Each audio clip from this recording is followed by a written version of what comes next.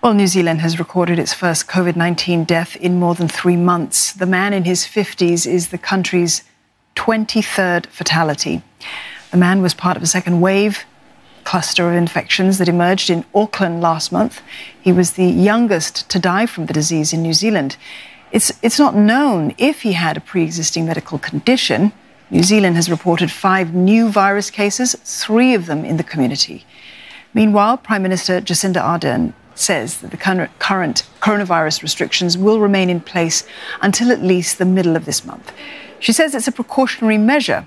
Auckland, the country's largest city and the centre of a fresh outbreak, will remain on alert level 2.5. Now, that means gatherings are limited to no more than 10 people, and people also have to continue wearing masks on public transport.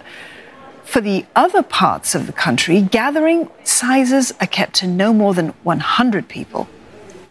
I think one of the reasons perhaps we've seen the ongoing level of compliance that we have, which relative to other countries is still very good, is because New Zealanders have seen it seen it pay off. It takes hard slog and a big effort, but they do see the benefit. They see restrictions lift and they see life resuming. And so that continues to be part of our strategy. Put in that big effort of going hard and early, but ultimately see the gains from, from that in the long term.